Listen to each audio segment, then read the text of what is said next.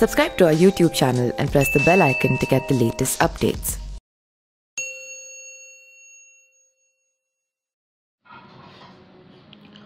बिहार में सत्ताधारी राजग में शामिल लोक जनशक्ति पार्टी, यानी कि लोजपा के राष्ट्रीय अध्यक्ष और जमुई से सांसद चिराग पासवान ने बुधवार को कहा कि उन्हें चिंता है कि कहीं प्रवासी श्रमिकों का बिहार सरकार से विश्वास तो नहीं उठता जा रहा है। चिराग ने एक निजी समाचार चैनल में बातचीत करते हुए कहा कि श्रमिकों में जितना आक्रोश दिख रहा है, मुझे यह चिंता है कि कहीं इनका बिहार सरकार से विश्वास तो नहीं उठता जा रहा।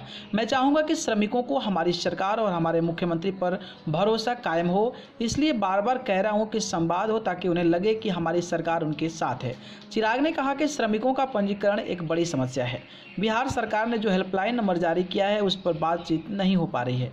उन्होंने कहा कि पंजीकरण की प्रक्रिया सरल बनाई जाए। लॉकडाउन के दौरान विभिन्न राज्यों में फंसे बिहार के श्रमिकों की समस्या को लेकर चिराग ने कहा कि उत्तर प्रदेश की तरह उन्हें वापस लाया जाए। उन्होंने कहा कि पहले दूसरे राज्यों से प्रवासी मजदूरों को लाने के लिए नीति नहीं होने की दुहाई दी गई, पर अब केंद्र सरकार ने नीति बना दी। कम से कम राजमार्गों पर फंसे मजदूरों को लाया जाए।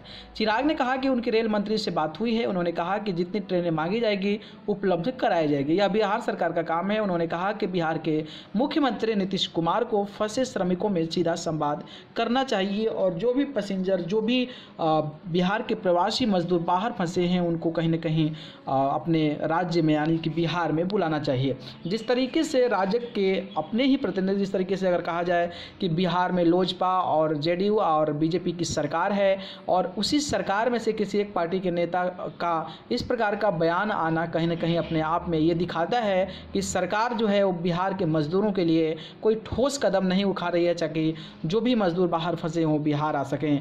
और इसके चलते सियासत में भी हड़कंप मच गया है। और जिस तरीके से इस बयान के बाद विपक्ष भी हावी होते नज़र आ रहा है और उन्होंने पार्टियों को, तीनों पार्टियों जो कि एक साथ मिलकर सरकार बनाई है, उन पर निशाना साधा है कि पार्टी में एकजुटता नहीं है, जिसके चलते इसका जो सज़ा है, बिहार के मज़दूरों को भुगतना पड़ रहा है।